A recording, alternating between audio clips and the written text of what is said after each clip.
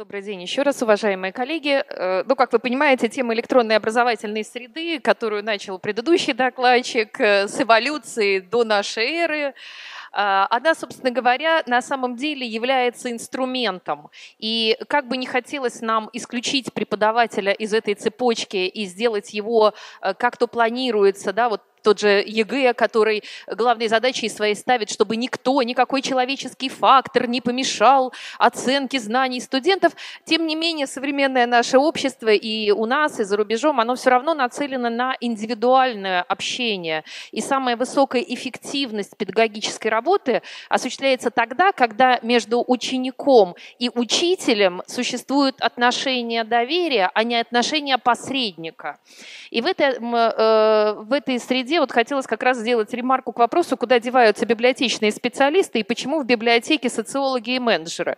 Вот так, знаете, легкое размышление привело к следующему круговороту. Наши специалисты с библиотечным образованием просто вытесняют менеджеров, э, социологов и так далее из их общей среды. Поэтому они вынуждены прийти в библиотеку. Э, ну, а теперь про электронную образовательную э, среду в профессиональной подготовке специалистов. Хотим мы или не хотим, но вот в интернете нашла вот такую совершенно изумившую меня картинку, пыталась установить авторство, чтобы корректно соблюсти, но пришлось написать, что автор неизвестен, потому что по этой гиперссылке сайта вообще не существует и домен не зарегистрирован. Э, собственно говоря, на сегодняшний момент говорить о в электронной среде в образовательном процессе можно только э, в том же ракурсе, в котором мы с вами говорим о том, что мы создаем определенную среду в аудитории на уроках, что мы создаем эту среду, э, позволяя студенту расширять свои возможности. И если раньше мы говорили, нужно ножками дойти до библиотеки, то сегодня очень часто можно сказать, ну посмотри вот такие-то сайты в ресурсах интернет. Тем не менее, формула навигационная, тем не менее, подача информации очень важна в этой ситуации. И э, на сегодняшний момент, да, вот нами выделено три э, как бы составляющих этой самой электронной образовательной среды. Это информационная поддержка, это ресурсы, это не просто ну, мягко говоря, направление э, студента в интернет куда-то. Это конкретные ресурсы, которые отвечают тем требованиям, которые мы с вами предъявляем как преподаватели. Это интерактивные информационные продукты. И вот здесь совершенно изумительные всевозможные и симуляторы, и среды, и э, всевозможные ресурсы, которые позволяют студенту провести эксперимент. Ну, не секрет, что школы уже практически по химии не проводят экспериментов на химических веществах, они быстренько поменяли это все на эмуляторы, и показать ядерную реакцию гораздо интереснее в интерактивном режиме в электронном виде, чем дать возможность студентам сделать эксперимент э, и электронное обеспечение административных процессов. Но это тот самый момент, когда руководитель учреждения, преподаватель, э, родители в том числе, может просмотреть, что происходит и каким образом это происходит.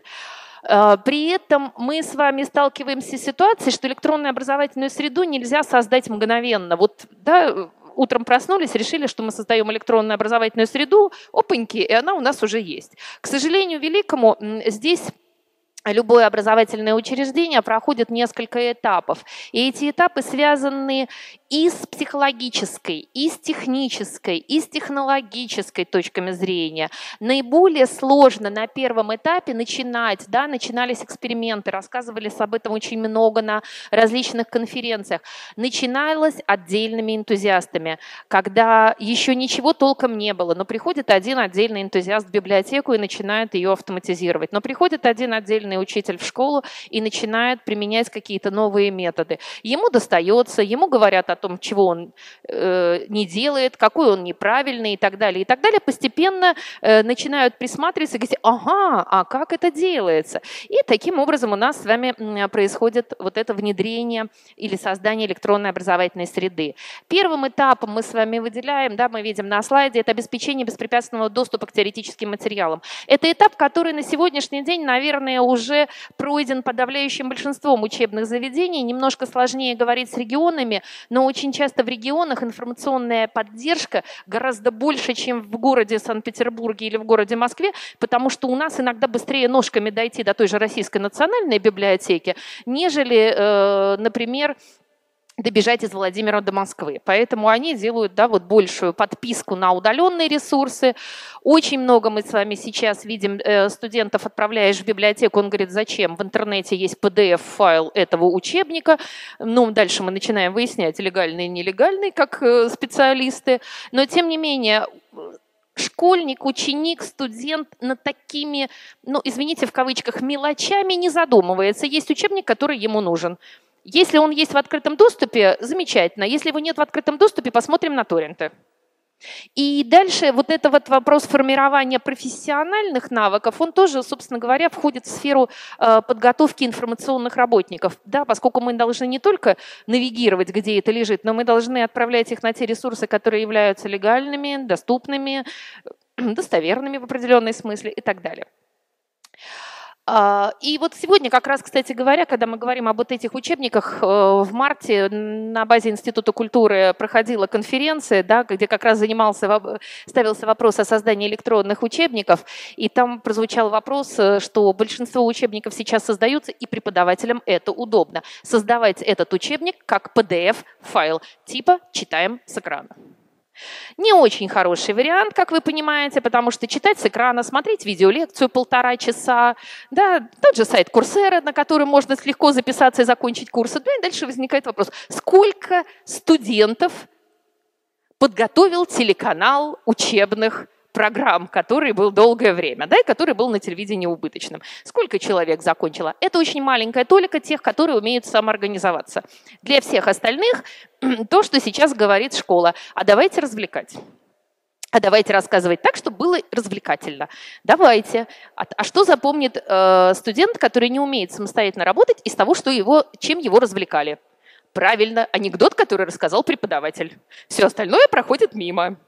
Поэтому второй вопрос, который мы с вами, да, с которым мы с вами пытаемся разобраться, развлекая, но и донося эту самую информацию до сознания студента. Не только имею в виду студента-школьника, но имею в виду и курсы повышения квалификации, и систему самообразования и так далее, и так далее, потому что не секрет, что те, кто закончил учиться, говорят, господи, да я же это все закончил, чего вы меня тут новому учите? Мне и так Хорошо. Это повышение квалификации тоже встречается. Поэтому второй этап – это среда интерактивного и проектного взаимодействия с обучаемым. Подавляющее большинство мы сейчас находимся именно на этом этапе, когда мы сформируем эту самую среду. Больше или меньше. Она постепенно наращивается. Здесь и электронные учебники в интерактивной форме, когда у нас с вами есть экранное отражение, когда у нас с вами есть переходы, когда у нас не просто видеолекция, вебинар, который записан с момента, как он проходил, а вы обратите внимание, если преподаватель записывает лекцию перед камерой, он говорит совершенно по-другому, чем когда он говорит перед аудиторией. Ну, честно, я сама педагог, я, конечно, долго не умею слушать, но я очень быстро устаю от таких вот формализованных лекций, которые записаны явно без аудитории, и это очень чувствуется в записи. Или когда идет вебинар, когда было взаимодействие с аудиторией, да, и там даже по-другому все воспринимается. Тем не менее, на этом этапе это реализация творческих проектов, что чаще всего и делается, и про это сегодня Валентина Владимировна говорила и в рамках Библиофеста, и в рамках традиционного учебного взаимодействия. Здесь и создание совместных ресурсов, когда работает и библиотека, и учебное заведение, когда работает коллектив студентов, и очень важная система обратной связи, да, ну вот тот самый традиционный элемент дистанционного образования, который является инструментом и контрольные по электронной почте, и взаимодействие с преподавателем с помощью скайпа или с помощью чата, да, и так далее, и так далее. Использование социальных сетей для обсуждения каких-то э, проблем и взаимодействия с преподавателем. То есть про это, про все мы с вами легко можем э, говорить. Ну и как бы этап, от которого мы с вами никуда не денемся, и который, наверное, самый сложный, потому что от этого зависит и наши с вами работа и, исполнение госзадания, да, о котором сегодня много звучало, это электронное обеспечение административных процессов. Здесь очень много э, ограничений с точки зрения законодательства. Здесь и закон о защите персональных данных, здесь и четкость представления, здесь и электронный документооборот внутри учебного заведения. И здесь очень важно, это руководитель, который э, готов работать с этой электронной средой. Очень многие руководители готовы, чтобы среда была, но их в ней не было. Поэтому вот это тоже очень важный момент. Здесь вот это самые моменты, которые самые болезненные для преподавателей, самые болезненные для учеников. Ну, один из классических примеров электронного обеспечения образовательного процесса – это когда у нас идет, например, система видеонаблюдения или система контроля входа-выхода в школах. Очень многие старшеклассники да, категорически возражают против такого ограничения свободы со всеми вытекающими отсюда последствиями. Несколько примеров по реализации. А, по специальности библиотековедения мы традиционно создаем электронное библиографическое пособие. У нас с 2009 года появилась новая площадка для экспериментов. Это специальность прикладная информатика по областям применения. Область применения у нас библиотековедение, поэтому мы готовим техников-программистов для библиотеки.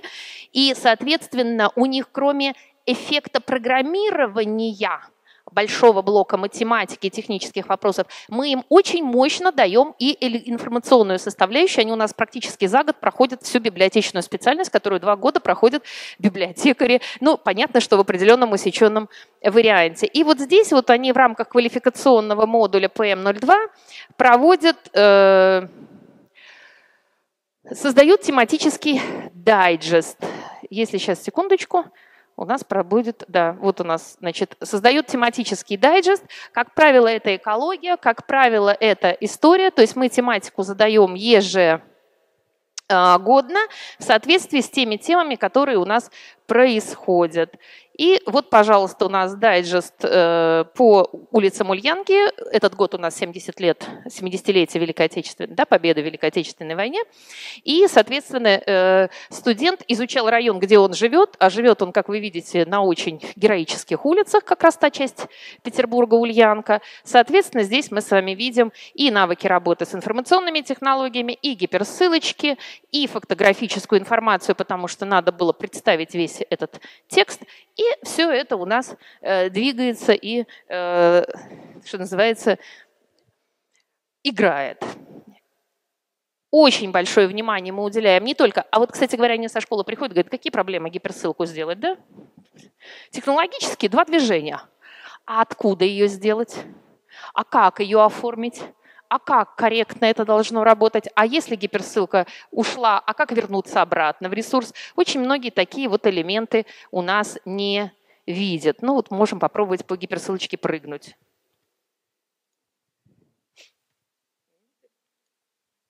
И мы попадаем на источники. Здесь требования соблюдения правил составления библиографического описания, которое тоже тяжело идет. Мы играем в игру если написал в программе ошибку, что будет с программой?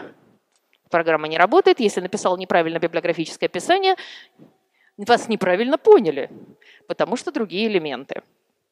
Ну, здесь вот в интернет мы, так сказать, ходить не будем. Вот здесь вот полный текст у нас, который делается просто в открытом отдельном файле. И таким образом вот у нас оно... Да... И вот здесь вот у нас этот текст, пожалуйста, э, скачан с источников, с открытых, тот, тот самый фрагмент, который допустим. Это как бы вот э, первая часть э, этого момента. Значит, э, далее вернемся к основной презентации. Второй этап. То есть это работа, которая традиционная, это работа, которая уже поставлена на поток, мы ежегодно этим занимаемся. А, буквально последний год мы начинаем переходить от продукта к среде. И это гораздо более интересный момент, когда мы и привлекаем студентов к созданию этого самого информационного продукта электронной образовательной среды, поскольку нужно программировать, нужно работать с разными форматами документов, соединяя их в единое целое. И э, в тот же момент времени преподаватель работает над своим курсом, над своими методическими материалами. То есть здесь осуществляется комплекс и техническая реализация преподавателем, и привлечение к этой работе студентов. То есть мы обучаем их, как им в дальнейшем делать для преподавателя эту самую электронную образовательную среду. То есть это идет метод погружения. Ну вот картиночку я здесь покажу одну на слайде э, фрагмента этого учебника по CSS и HTML, да, по мультимедиа технологиям. Как вы видите, э, мы, не, мы не берем большие крупные системы, хотя, в общем, очень хочется освоить и Moodle, и Sakai, который использует Институт культуры и так далее. Но для того, чтобы понять, это опять же, да, не обязательно устраивать ядерный взрыв, сначала сделаем модель. Для того, чтобы понять, как это устроено, и сочетать технику с контентом, с содержанием, не отдавая контент Юрайту, а, который хорошо нарисовал контент за Юрайтом, все остальные технические вопросы за вузом и преподавателем. А, не отдавая этот вопрос, мы, тем не менее, вот хотим как раз э, научить наших техников-программистов работать с контентом в электронной среде. Э, если интересно, есть время, могу пригласить преподавателя автора этого учебника, с автора Оксану Геннадьевну, чтобы показать в техническом или в кулуарах, уже просто мы это покажем. Да. Но тогда я на этом и завершу во избежание, а то мы с вами не успеем на подведение итогов. Спасибо за внимание, готова ответить на вопросы.